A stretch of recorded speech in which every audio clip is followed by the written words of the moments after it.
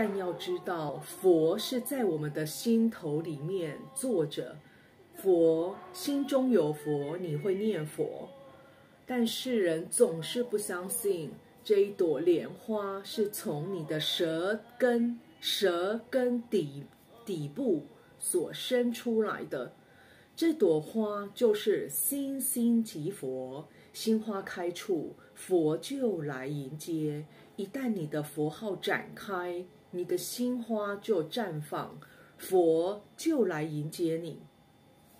诸佛如来净法身，思维意念变相亲，本同一体无差别。只要当人认得真。就是什么是真啊？什么是假？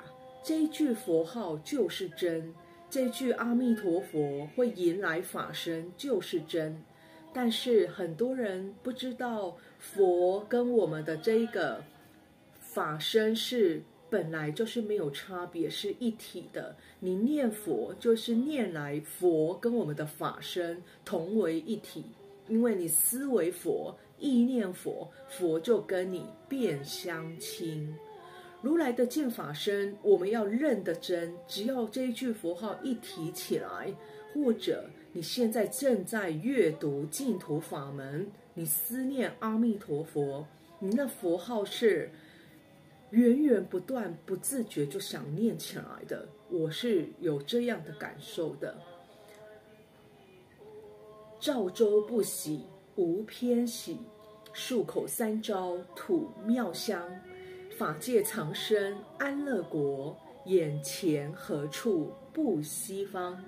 意思是说，在在处处，呃，念念急急，这个每一念每一个处所，都是西方极乐世界，也就是心佛众生三无差别。你虽然是一个众生，在这个娑婆的境界里面所看到的都是很多五浊恶世的事情，可是在这当下，你要用平常心、平常心来看待，因为平常心就是佛道。但是曾经有一位古代的赵州禅师，并不相信这件事哦。他不相信平常心就是道，所以他就问呢，他跑去南泉请教佛法。他说：“法师啊，怎么样才是佛道呢？”那对方法师就回答：“平常的用心就是佛道。”赵州禅师又再问：“有没有法子到达目的地呢？”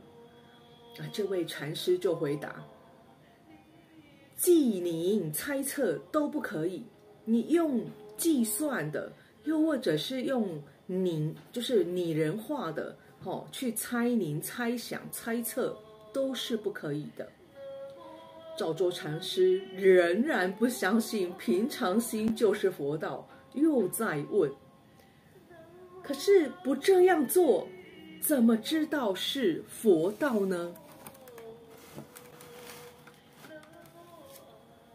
但是，如果不知道这样问，我怎么会知道什么是佛道啊？那对方就回答：佛道是不属于知道的，也不属于不知道，因为知知道是一种妄想觉悟，你妄想要觉悟才叫做知道，可是。知道也是一种空亡的境界，但是如果能够真正到达疑怀疑而不去怀疑的境界，就好像辽阔的虚空一样，清晰坦荡，你无所住啊，无所着，不是勉强分辨的是非观念所能够表现出来这种，就是豁然。豁然开朗，就是那种顿超三界的那一种心性。